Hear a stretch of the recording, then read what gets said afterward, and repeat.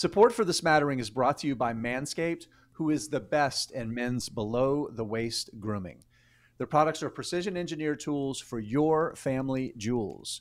Manscaped's performance package, the ultimate men's hygiene bundle. Join over 8 million men worldwide who trust Manscaped with this exclusive offer for you 20% off and free worldwide shipping with the code SMATTERING. It's at manscaped.com. Jeff, if my math is correct, that's about 16 million balls.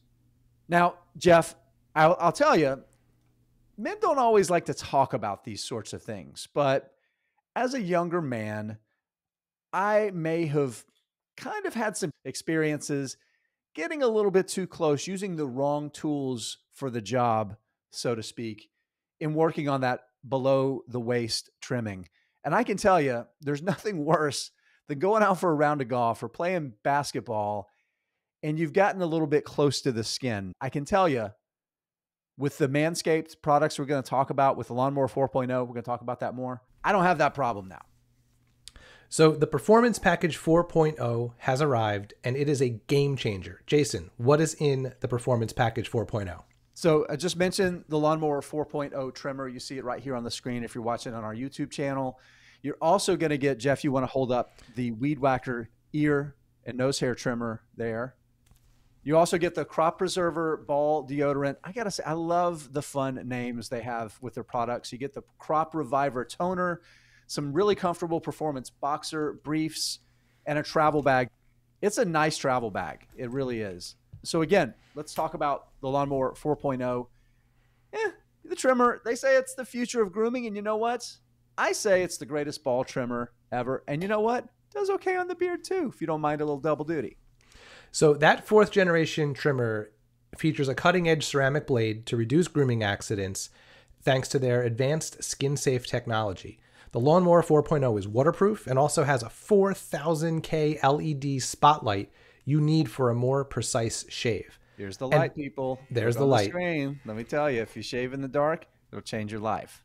And because the trimmer is waterproof, you can say goodbye to the mess on the bathroom floor. And if you thought that was good, but you also want to take your grooming game even further to the next level, the Performance Package 4.0 also includes the Weed Whacker nose and ear hair trimmer. This trimmer is also waterproof and provides proprietary skin safe technology, which helps reduce nicks, snags, and tugs in those delicate nose holes. I'll tell you, when I got my weed whacker trimmer, I sent a picture of it to Jeff with the caption, I will make this thing cry robot tears. And it proved me wrong. If it can handle my nose and ears, it's going to be able to handle yours too. So, a couple other products in there the Crop Preserver Ball Deodorant, Crop Reviver Ball Toner. It's going to change the way you approach your hygiene routine. Trust me when I say this, fellas, your balls will thank you. Manscaped even threw in two free gifts for to the uh, Performance Package 4.0, those Manscaped boxers and the Shed travel bag. Bring your comfort and boxers to another level, people. So it is time to take care of yourself. So go to manscaped.com and get 20% off plus free shipping with code SMATTERING. That's 20% off with free shipping at manscaped.com and use the code SMATTERING. Unlock your confidence and always use the right tools for the job with Manscaped. Hey, everybody, welcome back to the Smattering, where we ask the important questions about investing. I'm Jason Hall, joined by the voice of the people, Jeff Santoro. That is his name. That is what I'm calling him. How are you, Jeff? Hey, I'm doing well. Good to see you. You too. You too. You know, we've mentioned a couple times back to the regular routine of the kids in school and work is normal. It's been really nice. I feel really productive. And the timing is really good for us to do a mailbag question because we got a bunch of questions that we're going to answer today, Jeff. Yeah, this has been one of our better mailbag responses when we've reached out and asked for people to send us questions. So thank you to everyone who sent them. Uh, please remember that we do this around once a month. So if you think of anything throughout the time that you're listening to the podcast, don't hesitate to email or, or DM us because we'll keep a running list of those questions and we'll ask them next time around. Before we jump into the mailbag, Jason, some quick housekeeping notes for everyone. Uh, first of all, thank you to the almost dozen of you that gave us ratings on either the podcast, the Spotify or the Apple Podcast app, or maybe both over the last couple weeks. We've been reminding everyone each time we do an episode to please help us out, give us a rating, uh, give us um, a review if you can. And we've gotten a bunch more. In fact, we got a new Apple Podcast review from Sly Guy 007 a couple days ago. So thank you, Sly Guy. Uh, if you want to get a shout out on the podcast, leave us a review. Uh, it has to be a positive one, or we're not going to read it. But all kidding aside, thank you for those that have been doing that. Please uh, help us out. If you haven't yet, give us a star rating, give us a review. And another reminder that we have a newsletter that we put out uh, twice a week. On Saturday, you get a transcript of the show. On Sunday, you get random thoughts by Jason and I. So if you're enjoying the podcast, you want a little extra content, go ahead and subscribe to that. Uh, then we have you on our list. And if anything, if we add any additional content or moving forward, that'll be the place to find it. So, all right, that's the housekeeping. So, Jason, we got podcast mailbag questions to answer here. Why don't we dive into the first one? I will read it to you and I'll give you first shot at it and then I'll add my thoughts. So, this is from Bonnelly and it came via email. And Bonnelly writes, All things unchanged, I don't see a reason for an investor, in quotes, to hold cash for long term in a high yield money market account. One would be paying taxes annually on the gains at your current tax bracket, diminishing the compounding effect. I'd be better off investing or holding fill in the blank offering uh, a fi- uh, fill in the blank offering a 4 to 5% yield and not paying taxes until ret- retirement requires me to cash in. What are your thoughts? Yeah, so I have a lot of thoughts about this. I think it's really it's a really good question because we have talked more about cash lately. Um, going back to even this spring um, on the YouTube channel, Tyler and I did a video. I think when we saw um, money market yields, which are basically T bills, right? It's treasury rates is really what it is. Go like over four, four and a half percent. We started talking about it more. And I think the key thing is thinking about this from the perspective when you're talking about taxes and tax efficiency and inefficiency. It's it's it's I, I, I agree. I don't think people should hold cash for the long term. And if you think about a money market, it's essentially it's it's a it's a cash equivalent thing, right? Because money markets, these 30 day T bills that they generally are, these short term treasuries, it's as safe as cash, right? Um, and they're very very liquid. But I agree in general, unless you're talking about short term needs, where a cash like thing makes the most sense, you know, and that's for most people is within the next year, right? Within the next few years, you know, you want to have some sort of a cash equivalent thing.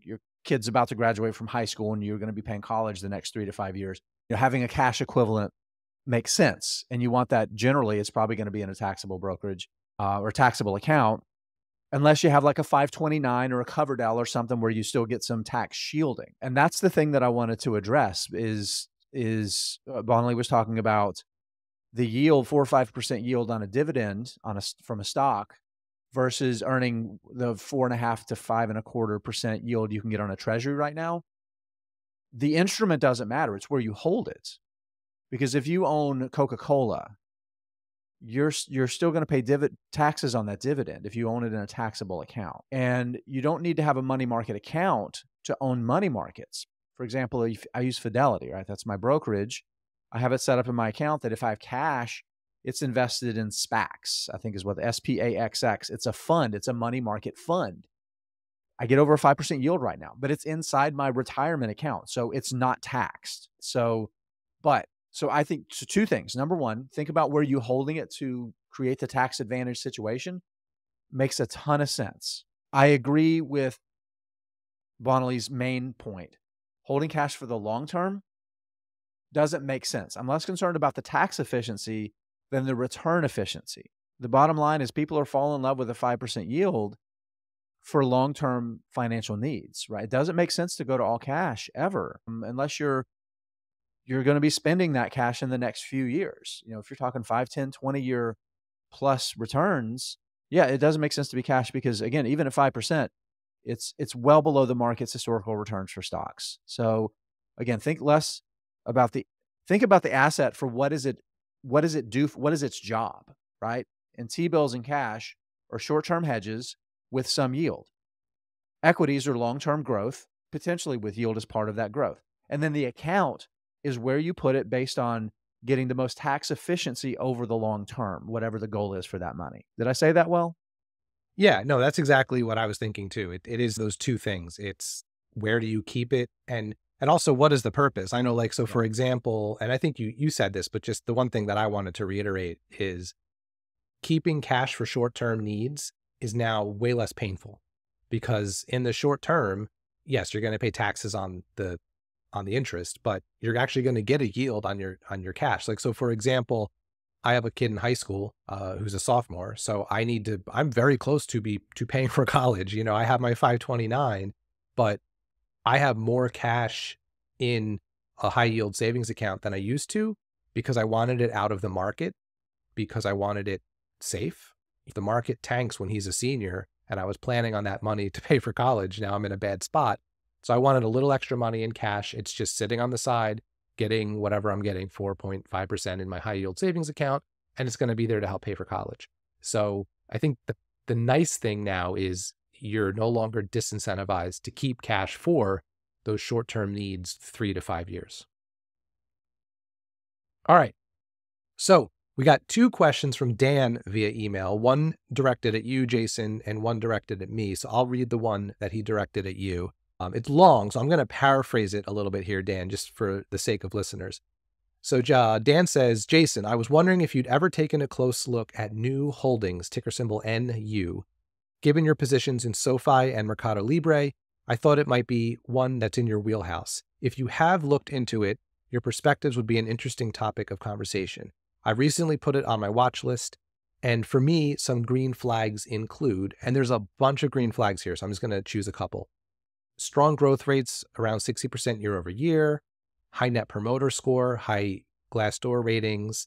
Uh, Dan really likes the mission statement, which is fight complexity to empower people in their daily lives by reinventing financial services. There's a bunch more. Then there's some potential red flags he lists as well inability to hit growth rates in Colombia and Mexico, potential saturation in, in Brazil, political risk, regulatory risk, economic risk. So basically, all the risks you'd see in that part of the world. So, that being said, those green flags, those red flags, Jason, what are your thoughts on uh, on Nu?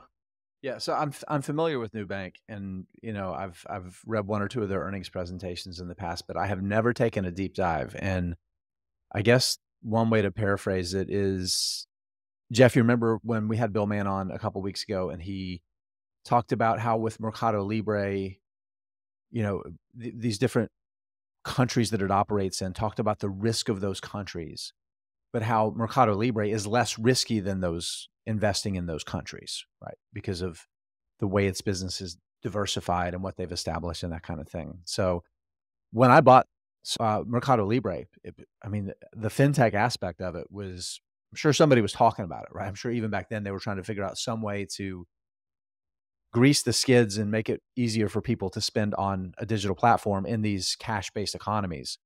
Um, but I trust Mercado Libre now, um, their payments business and their lending business and the things that they do because of their track record, right? And because it's not their pure play, it's a part of what they do. And they're not trying to be a bank, right? Exactly in the same way that when we say SoFi or Bank of America or whatever, right? We think of banks. So thinking about Nubank versus SoFi, I understand the US bank regulatory environment. I understand the US banking system. I understand US banks. It's very different um, when you move outside of the US and Europe. There's some similarities between Europe and U- the US and Canada. Canada's banking system is extremely regulated, even far more regulated than, than banks are in the US. Um, the lack of regula- regulation in a lot of Latin America I don't want to say it concerns me, but it's it's just it's kind of in my too hard pile. I guess is the way to put it. And I've never taken the time to look there. Again, SoFi, I would have to think is just infinitely safer than many banks are that operate in other parts of mm, like Latin America, just because there's a regime in place to protect depositors um, that may not be as strong in other in other places. So, with that said, going back to Bill Mann, you know, Bill Mann and another colleague of ours, a friend who knows international markets very, very well, also, Mexico, like top of his list. Companies that have exposure to some of those markets that really could explode over the next 10 years as the US becomes less Asia centric and Europe becomes less Asia centric with things like supply chain. I feel like I do need to be more exposed to the future of those economies. So at some point, I'm going to give Nu a look. Just never, I don't have enough belief in my own ability to really evaluate banks because I get too optimistic with companies. I really do, Jeff, and I know that about myself. And sometimes when you're talking about something like a bank, which can be amazing until it just absolutely explodes spectacularly, right? Sometimes it's best for me just to not even not even fish in those waters. So I don't know this company at all, other than I've heard the ticker a few times, but there's a couple things that I was thinking about when I read the question, but also with what you said. What I think is great about this from Dan is that he's got a very specific lists of green flags and red flags that he's identified. So yeah. what I would what I would do, Dan, if it were me and I had those lists, keep them written down somewhere. And every time there's news that you get from the company, a quarterly filing, the annual report, a press release, whatever, read it and read it with the critical eye of how does this align with or go against my green flags and my red flags? Am I seeing evidence of the things I'm worried that are risks manifesting themselves? Or am I seeing some of the things I had identified as green flags starting to erode? And then, so you're sort of thinking critically every time there's information, not Twitter hype, not someone's opinion, but information from the company that helps you verify those green flags and red flags. And the second thing I was thinking was this is where having some hmm. sort of thought process around position sizing can be really helpful. So maybe you are interested enough that you take a small position and that you define what that means for you, whether it's a dollar amount, a percentage of your overall portfolio, and you add as you build conviction. So maybe the next quarterly report comes out and the green flags look greener, the red flags look less red, and you buy a little more. Or vice versa. You see some more concern, you see some risks manifesting themselves, and you either hold or sell. So that's just another way uh, how I would approach it if I was interested in a company that I was just learning about and had those specific green flags and red flags already sort of figured out. Jeff, before I ask you Dan's question that he had for you, there's one other thing I want to mention here is Berkshire owned they made about a billion dollar investment in Nubank super early. I don't I think they were after the IPO, they bought shares on the market. They may have been a pre-IPO investor. Anyway, they, they have a stake here. And sometimes that's the kind of thing that can cause people to say, oh, this is fine. This is safe. I could, this is a, and I think that's a really false trail, can be really dangerous to go down. And it's a, there's another thing too that's important. Um, Berkshire Hathaway has a really big advantage in a place like Brazil. Um, there's a there's a hedge fund called 3G Capital that they've done a lot of deals with that they ha- they know they know the, the the operators there they know the investors at, at 3G Capital pretty well. And sometimes you just know somebody that knows a lot and maybe there's I don't want to say borrowed conviction but that's insights that Warren Buffett can have based on experts in the region, in the market that you've done deals with that you trust that could have played a role in that decision, right? So all of a sudden that's like fourth hand conviction. So just be careful about because somebody else did it, it makes sense to do. Okay, so Dan's question for you. He says, Jeff, I'm interested to know if you found it difficult to keep conviction during a bear market so early in your individual stock investing journey. Did you struggle to add to your positions on the way down? and trust a long term process for which you hadn't yet seen decades of, of success uh, to fall back on. And then uh, Dan goes on to kind of explain some of the things he dealt with, like being swayed by media opinions when trying to find that extra conviction, trying to time the market, you know, instead of just regularly putting cash to work. It's something you and I've talked about a lot with your process. Mm, so Dan says he'd really be keen to hear your experience, lessons learned, and what tools you added to your toolbox to help during those tough conditions? And what would you do same or differently the next time? Because there's always the next time. So this is a great question, Dan. And the first thing I thought of when I read it was I have felt every single one of the things you wrote in this email. I think what helped me not make too many bad decisions, and I say too many because I certainly did make bad decisions, was a couple things. I started with very small amounts of money. I mean, comically small amounts of money. So in the very early days nothing was really going to kill me. My entire my entire portfolio of stocks probably could have gone to zero, and it would have sucked, but not like completely altered my future. The but I think the biggest thing that I that I think is important to add it for context is I even though I'm only a stock picker for three years, I've been through a lot of this stuff before because I'm 44. So I remember what it was like to see my retirement account crater in the great financial crisis and take several years to come back. You know, so I was always sort of cognizant of what was happening in in the world and and I was and I'm old enough to know that there's times when the market does poorly and there's times when the market does great. So I, I think that helped as a as a base. Now I'm just lucky that I was a little bit older when I did this. If I were a new investor in individual stocks when the when we went through all the last couple years, I don't know. I might not have been um, able to handle it as as well as I think I did. I also remember very specifically during the crazy run up after the pandemic, thinking to myself, this cannot be right. because every single day everything went up. And I and I just was like, this is it, it's one of those if it's too good to be true, it probably is things. And I just so that was my thought the whole bull market. And then I also remember thinking, man, if I only knew what I knew now when the market crashed in March of 2020, I would have bought so much more.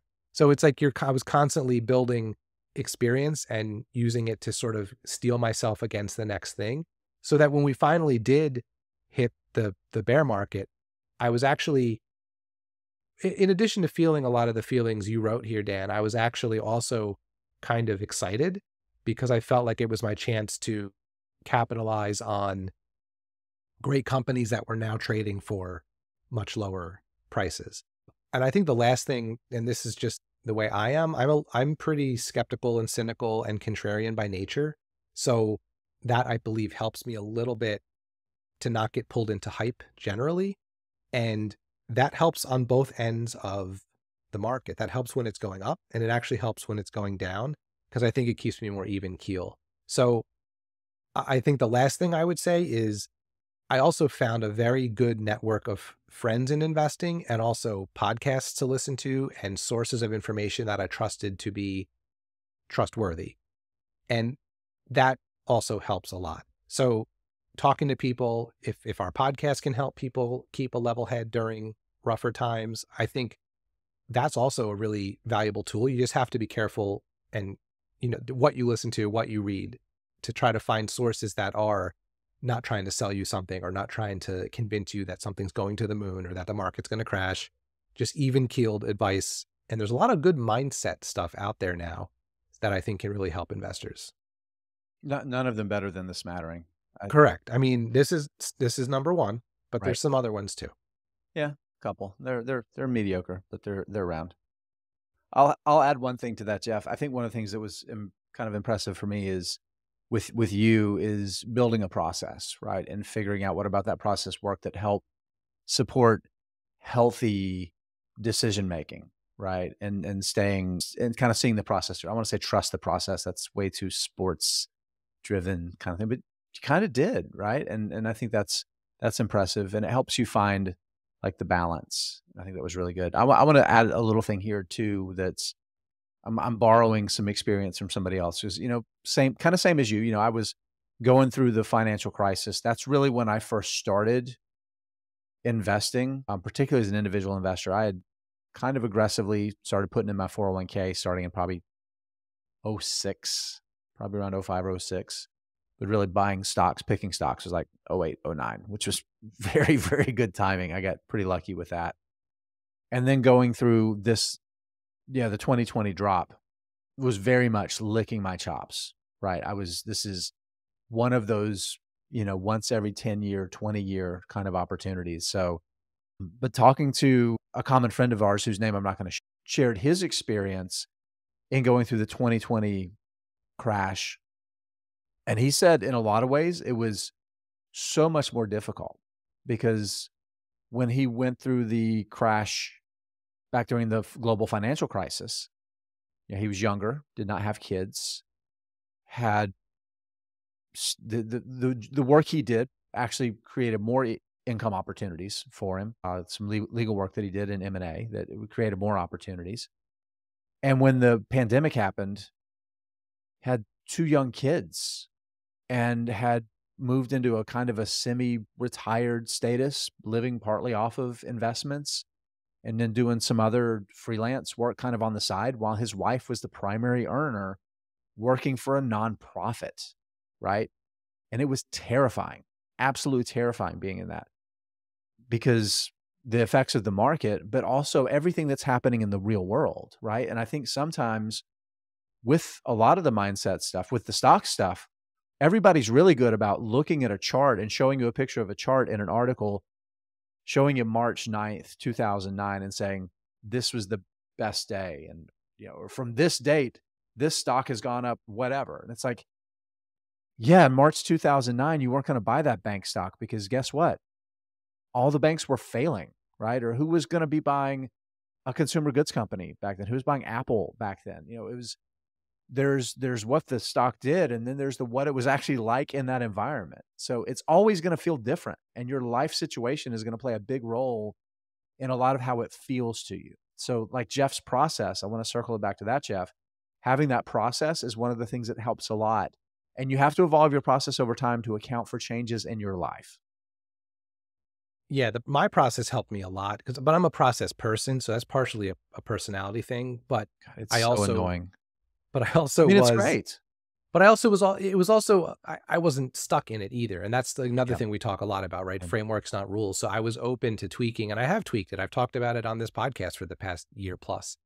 You know, the last thing I'll say, and then I'll read the next question, is we we have another mutual friend, John Rotonti, who's been on the pod, and he says this all the time on Twitter. You know, basically your biggest investing superpower is completely having no FOMO. Right? Like yep. n- having no FOMO is one of the best strategies you can have as an investor because it really it keeps the emotions out of it and it keeps you from doing dumb things. All right. Uh, next question. This comes from Ken on Twitter. Should I even be messing around in cyclicals? Not asking for advice, but I own STLD and Wire, W I R E, and ATL. ATI. I don't know. ATI, sorry, ATI. All solidly in the green since last summer slash fall. I like the businesses and know enough to understand that I'm playing in a game that I do not understand well enough. There are plenty of ways to make money, and I don't have to make it in these stocks. Each of these companies has performed well, but I don't know how long it will continue or how strong tailwinds from infrastructure building and electrification can take their respective sectors. Small positions, I could take gains and distribute into something that's a pure long term holding. Assuming I have time to follow closely, what advice on my, or mindset would you give me? Obviously, not advice on positioning, just the way of thinking and risks, etc. Yeah, cyclicals are are interesting, right? Because it's really cyclical stocks. You almost have to buy them counter cyclically. Um, Tyler and I did a video looking at um, some lithium stocks, and lithium is lithium market prices are way down. There's a ton of excess in inventory that got built up. It's kind of just everything slowed down in China, so it's that's weighing on on the sector. But then you think about lithium and like everything that's happening with electrification, and like it is a massive demographic trend. It is a massive long term tailwind. So there's the cyclical realities and then there's the long term tailwinds, right? So you have to kind of be mindful of that with these companies because you can fall into value traps pretty easy. STLD, that's Steel Dynamics, is an example. This is think it's basically the newest steel company founded in the U.S. in the past like 50 years. Um, they have a really interesting process that works well, and their ability to grow and take market share, I think, is really, really good. So it's a little bit of a growth story there. But then if you look at the stock, I haven't, you know, haven't looked at it in a few weeks. I know at one point recently it was pretty close to all time highs, but then you look at it on a multiple, like on a valuation, and it looks really cheap. And if we're near the like the peak of the steel cycle right now, that's a it's a false val it's a value trap right? Because you're going to end up you, you what looks like a cheap valuation is actually an expensive stock if steel demand does kind of fall or steel pricing falls. So i think with these steel companies and other cyclicals you very much want to be very very mindful of when you're when you're buying and you certainly want to buy when the the market has capitulated right? And the stocks have fallen and everybody's kind of given up Mm, and sometimes you do kind of have to sell and be disciplined as a seller too. I have a very small amount of Steel Dynamics that I've not been able to talk myself into selling, even though the valuation has concerned me because of of those reasons. But I think there's plenty of other cyclicals that are just kind of low growth, no growth ones that you can make money almost kind of in a trade where you buy when the market is turned and all of the negative sentiment is there, but whatever the underlying product is and the end markets that it serves, you know there's growth and you know there's things are going to return. You can ride that wave back up for a few years and then you sell and capitalize. Are you going to time the market perfect and get the bottom and the top and all that stuff? No. But again, it gets back to Jeff. We've talked about like like getting uh uh the what was the rate of return? What's the just an, an acceptable rate of return?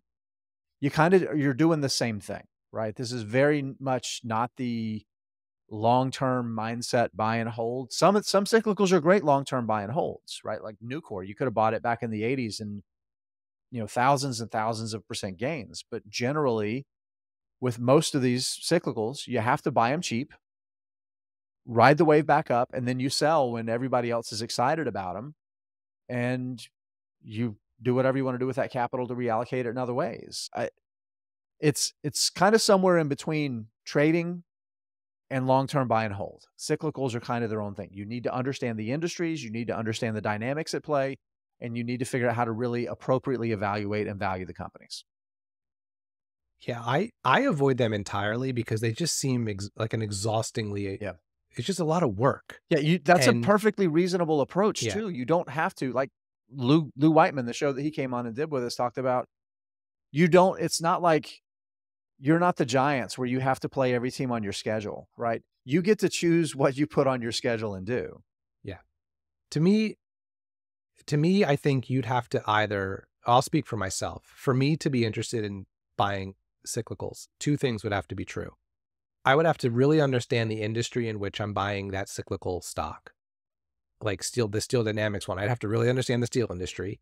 And I would have to really be interested in it because in my mind, it's going to take a lot of mental energy to be staying up on the quarterly reports, having the specific things I'm looking for. And I think the third thing is it, you really have to have a, a, an iron constitution, a steel constitution to yeah. sell when everyone's excited about it mm-hmm. and buy when everyone hates it. Yeah. And I think that's, you're just, you're asking for a lot of work and you're asking to, you're asking yourself to do what's hard to do, which is go against the grain consistently over many years to to make any profits. And I just feel like I'd rather put that money in a stock that I can not have to spend that much time thinking about. But to each his own. But that's how I think about it. I agree. All right, most, most people shouldn't do it. I agree with you 100. percent Chris, all right, Chris got some good questions here for us. Yeah, all right, we got two from Chris on Twitter, um, and they're related, so I'll just read them right off the bat and see what you think about them, Jason. Question one: Which three current positions do you own that you believe could generate the strongest returns by the end of 2024? And the second question which industry or sector do you believe has the greatest potential for shareholder returns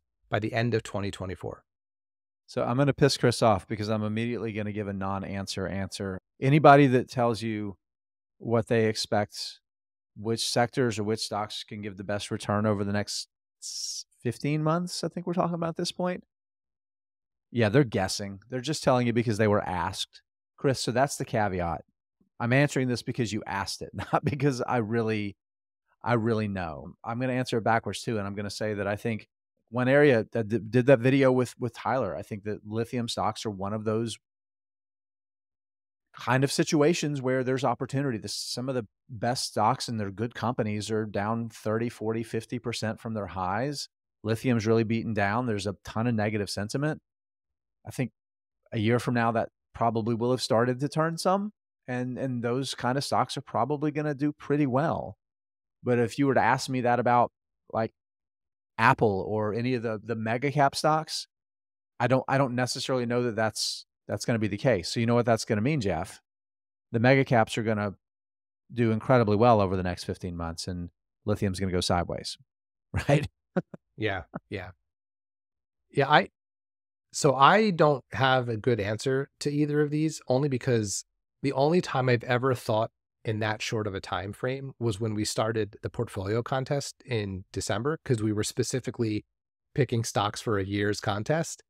And I'll be honest, my thought process during that would be the same I would apply here, which is I would find companies I own that I still have a lot of conviction in that are still just really beaten down. Because that's really all I did when I picked my three for the portfolio contest. I picked Amazon because it was stupid cheap compared to where it has been. And it was just, it, we were just talking a few minutes ago about in cyclicals, you have to buy when everyone's against it. And it felt in December of 2022 that everyone was sort of counting Amazon out and pointing to its you know, operating losses and how much money it was burning and fix, you know, trying to fix all of the invest over investment in that they had to make during the pandemic and everyone was just kind of sour on the business and i was like well i think amazon is still amazon and it's cheap right now so i added it to my portfolio.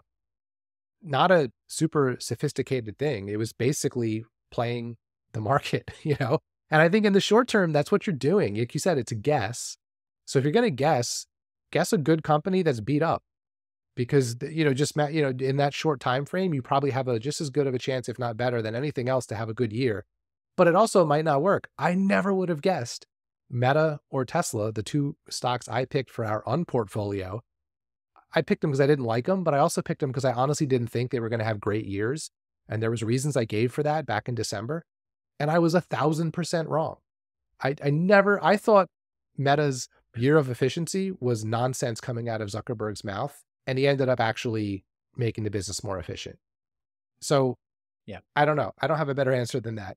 I'm going to give uh, here based on based on that formula, based on that framework. I'm going to offer up to Jeff, and I'll be interested to hear your thoughts on it here. So the same idea, starting with the good business part, right? I think they have a good business. They have a good product. They have good execution, potential for great execution, potentially for a very large market share. The stock happens to be beaten down right now. Outset Medical and Upstart, you know, I think are two. So I'll let you talk about Outset and why you think that might be the case. I think you wrote about it in your last week's uh, words on our newsletter that came out when, uh, this last Sunday.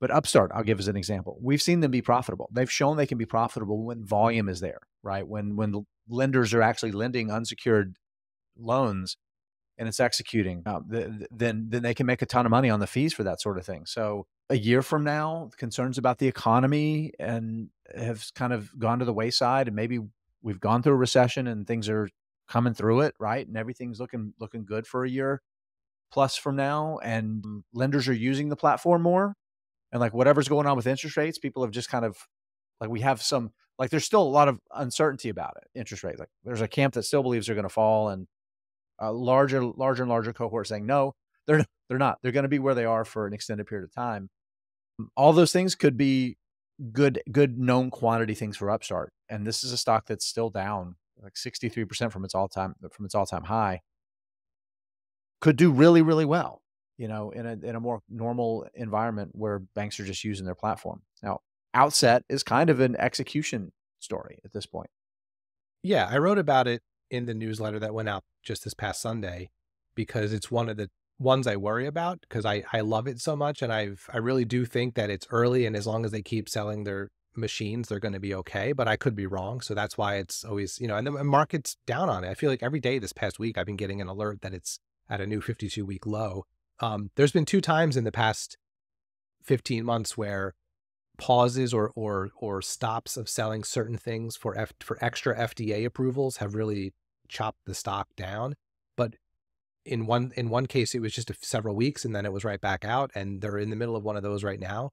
They even stopped selling a certain part of the machine even though they didn't have to just to cross all the t's and dot all the i's with the fda so in my mind those are blips in the road of a young company and if it ends up being a super successful winner two decades from now no one no one's going to look back and remember these two little blips on the radar back in 2022 and 2023 so, you know, again, that's an early stage medical device company that already has FDA approval and has the market, has a product on the market.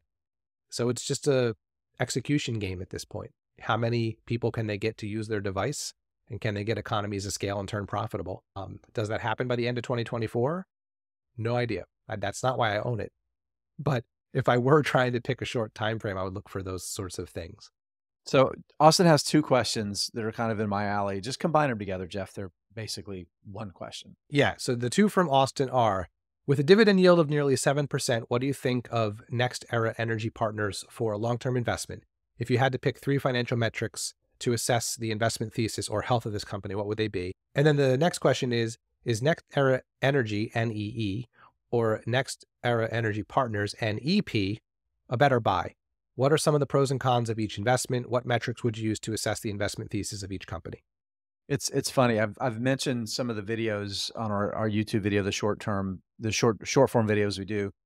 that I've done a ton with Tyler lately. I've mentioned him a ton on this on this episode, Jeff and Austin. We actually recorded um, a video specifically about this, and we also talked about Brookfield Renewable as well. And I think it's really important to understand the to answer your question. What is Next NextEra Energy Partners? And it's really like a finance vehicle. Is the best way to think about it. So you've got Next NextEra Energy, which is the parent company, which is a utility, right? And one of the things that utility companies do to some degree, some do, is they have like these master limited partnerships that they use as ways to finance more deals and like to bolster their own balance sheet, right? So if you're next NextEra Energy, you've got your regulated business, Florida Power and Light. You have your unregulated business, which is a lot of utilities and some other things where you're producing power and selling it to other utilities and to large power users, right? So it's that's the difference between regulated and unregulated. And the way they've been, one of the ways they've been able to grow their unregulated utility business is with NextEra Energy Partners. Because what they do is they'll they'll they'll build these renewable energy assets and then they drop them down to NextEra Energy Partners. And what that means is they sell it to the to NextEra Energy Partners. NextEra Energy Partners, again, NextEra Energy's they own a controlling stake, so they get the same dividend as investors do, right? So they get that yield. They still have control of the asset. So it's a way for them to kind of deleverage the parent company's balance sheet while still pursuing growth, right? In this un- unregulated business. Here's the problem. A higher yield is a problem is is it actually undermines the thesis and the usefulness of NextEra in NextEra Energy Partners um, as a finance tool because if you're going to acquire one of these assets from the parent company, you're either going to use cash, which they don't keep much cash on the books. They turn the cash over pretty quickly. You're going to take on take on debt, or you're going to issue stock, right? And basically, what the, with a seven percent yield, they pretty much have to take on debt, and there's just not much meat left on the bone because you look at the rates of return on most of these assets; they're mid to high single digit rates of return. So if you're issuing stock at at a seven percent yield to to acquire an asset that's going to generate a five or six or seven percent yield, the math doesn't work, right? It just it doesn't work. Um, so that's the issue. So I'm not even really going to get into metrics besides looking at the yield right now. And as much as that's attractive to somebody looking to buy a dividend stock, and I know Austin, you love these yieldcos. That high yield for for for NextEra Energy Partners is bad. It's not conducive to the reason that it exists as a finance tool. Now, it's different for Brookfield Renewable. Now, first of all, it has a lower yield, which is good, but Brookfield it, Renewable is not a drop down mechanism because its parent company, Brookfield Corporation, is not a utility. And it's partnered with a lot of its deals, Brookfield Asset Management, again, also not a utility. It's a co investment vehicle, right? So it exists to participate in the investment in these assets. You may have Brookfield Asset Management may have a fund that invests in a renewable energy asset. And then Brookfield Renewable may also buy a stake in it. And then Brookfield Renewable can also be the operator, right? So so it's not exactly the same reason that it exists. So it's the same way with Clearway Energy, which is I think Global Investment Partners is the parent company. It's an investment fund, it's not a utility. Then you've got Atlantica Sustainable Infrastructure, which is the parent company is a utility. So again, you, have to think about them differently in terms of who control controls it and what they're using it for. Um, and and I'm just I'm, I'm optimistic everything's going to be fine, but I think there is some risk. The NextEra Energy just rolls it up. They just they they reacquire it and roll it up because you can't use it as a finance vehicle. The price is discounted. It's more attractive to just buy it back, right? Mm, so I wouldn't be in a hurry there. If I was buying a Yieldco right now, I'd, I'd be buying Brookfield Renewable. All right. So that's it for the questions, Jeff. Everybody that sent questions to us, much appreciated. Thank you very much. Let's take a break. I need a break, and then we'll be back for second part of the show. Hey, everybody. Welcome back to the smattering for the second part of our show, where I ask Jeff the question How are your market vibes, bro? Yes, this the segment we're calling "How are your market vibes, bro?" Well, no, I, I, I. This is why I wanted to talk about this because we have been on a pretty nice run from what I what would we say like March ish, April ish of I'm sorry, no, no, since since October of 22, right? That's when the Yep. low the low was. We've been on a pretty nice run from then up into about August. And then since then it's kind of been heading back down, not in a straight line, but so we've been on this really nice run and everything's been feeling good, but the last couple months it's just really it's felt bear market-ish again, at least in my portfolio. So I just wanted to talk about it. I wanted to see how your head's been. The last couple days have been a little bit rougher. I know today the market is up. We're recording this on the 25th while the market's still open.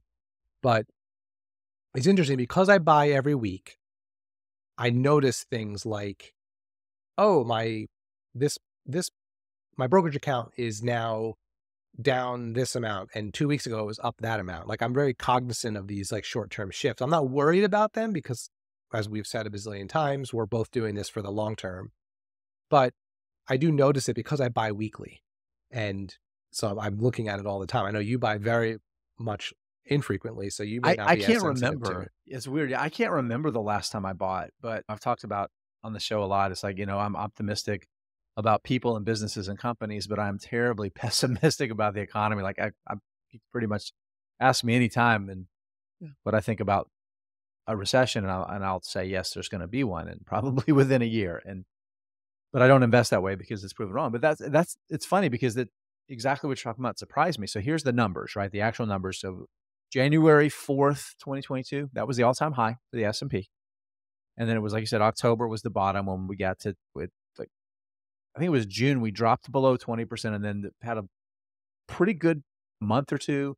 Then it fell again. The market, I think, bottomed almost down 25% before it started really, really running up. And then, yeah, since August, I think we're down about 5%. So it's starting to feel kind of bearish again, I Well, guess. the, the other place. I noticed it that our listeners might notice is is go look at the Smatterfolio. Go look at the click on the link in our in our show notes. And just a few weeks ago, we I was teasing you because I was finally had inched up, a you know, I got above you for a couple days, and we were both up 30 something ish percent. And now both of us are down from there. And we've been saying every time we've done a, who's ahead? Uh, you are probably ahead right now. I'm not looking at it, but Can you say that again? no, I'm sorry, you're breaking up. But I think it's funny because we've been saying all through the year, this has been a good year, and it was like January, or this has been a good year, and it was March. So I, I'm just curious. Like, I wonder if the second half of the year might be trending down. I don't know. Again, I don't really change the way Yeah. I invest because of those things, but these are things I wonder about. So I was just curious where your head was about it.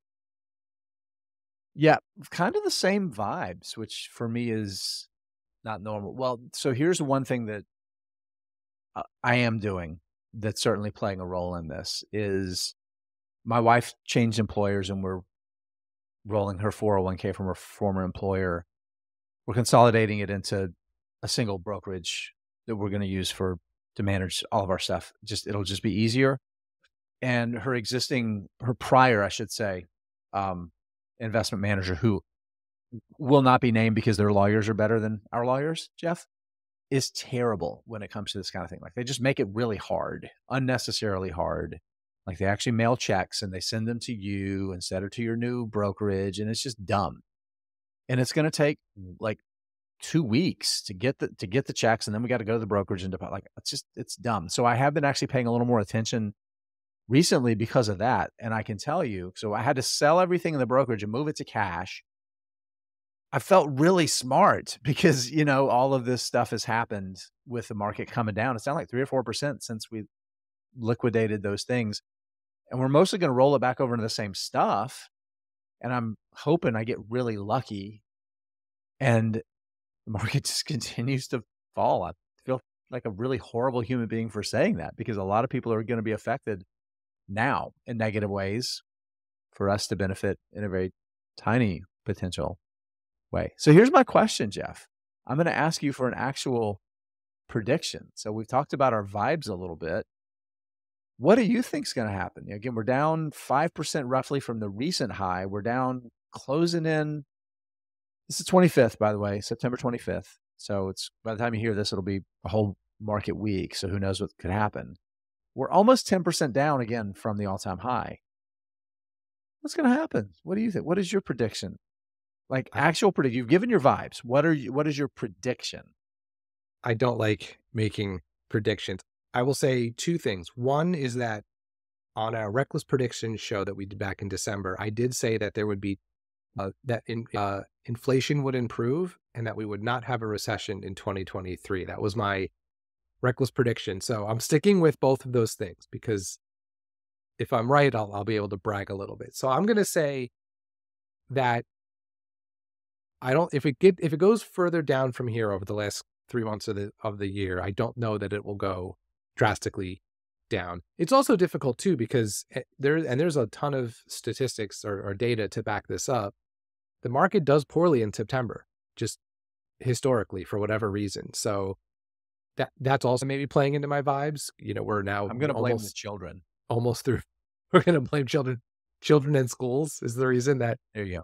There you go. But I will say this, kids. So I always feel bad saying this because I, I understand if you're about to retire, you don't want to hear these words, but I kind of want it to go down more. You know, Warren Buffett says the same thing. Basically, if if you if you are a long-term stockholder, you should want the market to you know go down and present you with better buying opportunities. And I want it to go up really strongly in the last couple years before I retire.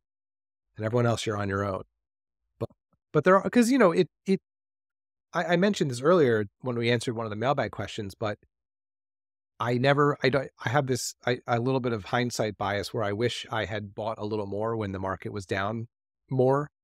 You know, tw- hindsight's twenty twenty. So there's always part of me that sort of wants another crack at that opportunity.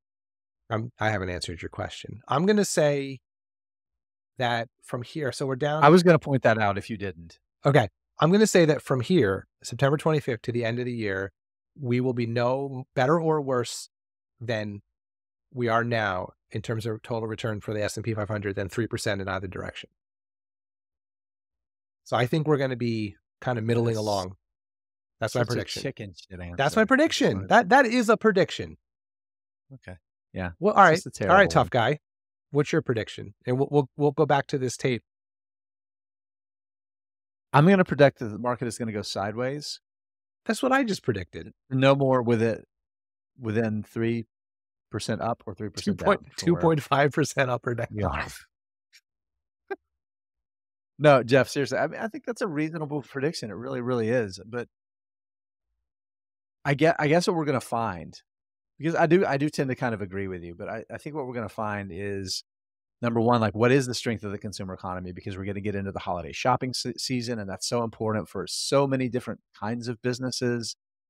And we're not going to learn much about the housing market because this is like not a great part of the housing market anyway, right? In terms of new construction or people listing homes, right? So we're not going to get that answer.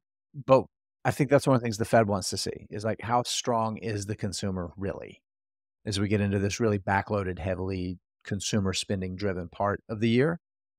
And that could answer some questions about what the Fed decides that it really does does need to do. And then I think investors are going to overreact one way or the other based on whatever whatever that is. Well, here's another thing that I think might have been contributing to the down market we've had over the last couple weeks or a couple months is it really did seem like, and I've heard other people say this, this is not my analysis, that the market was pricing in some rate cuts, you know, even though there was really no evidence that there was going to be rate cuts. And this last Fed announcement last week, I think sent the message that nope, maybe we'll hold steady, but there won't be any cuts anytime soon. And right after that, the market sold off pretty significantly. So now where yeah. I don't know if, if that's true, if that if we shook out that belief from the market, I don't know if we are now equilibralized, if that's a word, and it'll be kind of here on out, or if there's still more of that to come out. But I do think that that's something that the market does seem to you